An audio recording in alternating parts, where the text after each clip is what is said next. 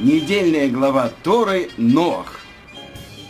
Наверное, вы все слышали, что много веков тому назад Творец послал на землю самый настоящий потоп. И все живое, все люди, все животные, все звери и даже птицы были смыты с лица земли. И никто из людей не спасся, кроме одного праведника – и его семью. Но почему Творец обрушил на свой мир такое страшное наказание?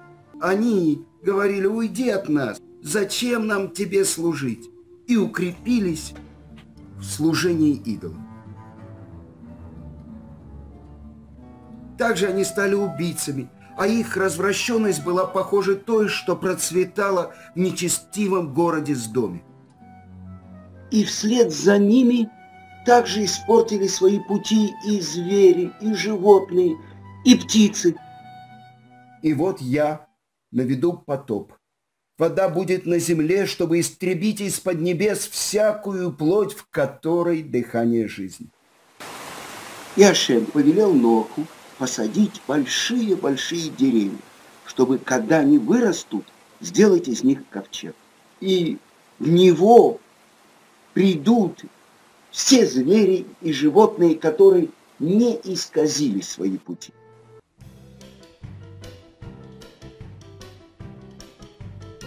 А сколько же лет Ног строит этот ковчег? Может быть, три года, пять лет. 120 лет Ног строит ковчег. Но злодеи его поколения приходили к Ноху и спрашивали, «Но что это ты здесь делаешь?»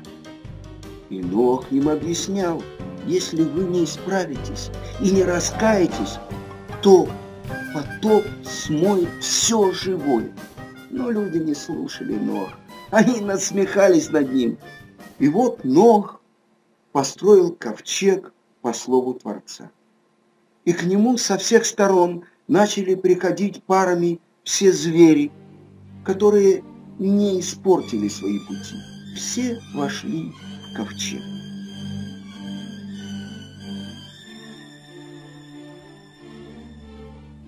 Семнадцатого Маркешвана 1656 года от сотворения мира начал идти дождь. Сперва он только над кратером. И если бы люди поколения потопа раскаялись, то дождь мог бы стать благодатным и прекратиться. Но сам Нох и верил и не верил, что Творец исполнит свое обещание. И так он стоял вне ковчега до тех пор, пока вода не дошла ему до лодыжки.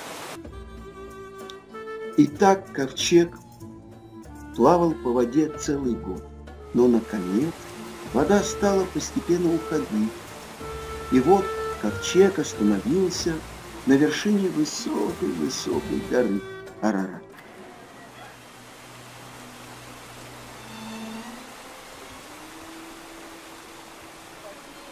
Святая книга Зор говорит, что когда вышел Нох из ковчега и увидел мир, покрытый болотом, грязью, он обратился к Творцу и спросил его, «Творец, зачем ты уничтожил твой прекрасный мир?»